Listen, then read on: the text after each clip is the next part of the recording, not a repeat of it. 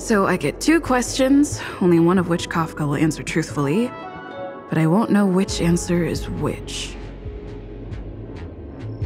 What should I ask?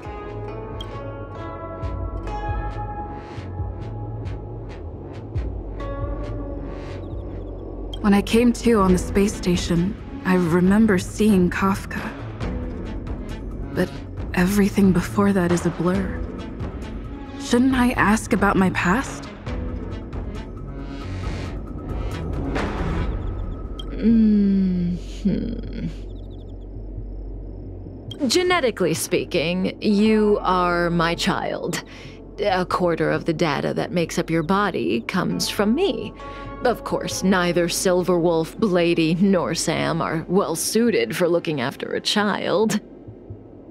So the burden of mentoring you fell on me. It was a stressful job, and I dumped you on the train as soon as I got the chance. Emotional, damn it! Blade. He seems to know Dan Heng. I don't understand the connection between them. Maybe I can learn the truth from Kafka.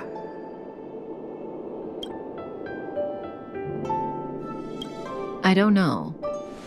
Blady didn't tell me. He said he doesn't know either. When he woke up, he didn't remember anything. And sometime later, a woman found him. She taught him swordplay, and then killed him. Over and over again. Until it was too much for him to bear. Elio ordered Sam and me to find Blady and return with him. According to Elio, Blady's swordplay and immortality have important uses. That's all I know.